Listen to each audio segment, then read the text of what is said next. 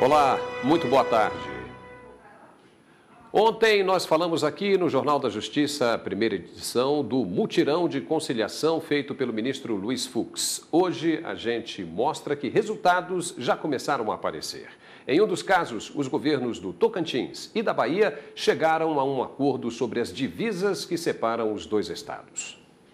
A divisão dos estados será feita de acordo com a delimitação do IBGE, que já é utilizada pelos demais órgãos públicos e para todos os fins políticos e jurídicos. Estavam presentes o governador de Tocantins, Siqueira Campos, e os procuradores gerais dos dois estados. As coisas estão definidas e vinham pela convivência harmoniosa definida há muito tempo. Agora basta reconhecer aquilo que é decisão popular e aquilo que o IBGE decidiu.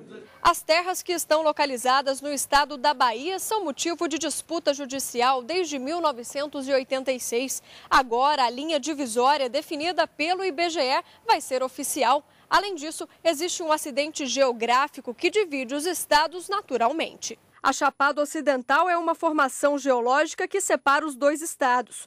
O estado da Bahia ainda vai participar da audiência de conciliação entre os estados de Tocantins e Piauí, já que faz parte de algumas questões que serão debatidas na reunião. Para o ministro Luiz Fux, a decisão dessa terça-feira pode ser um exemplo para a próxima conciliação entre os estados. Nenhum estado gosta de perder território para o outro.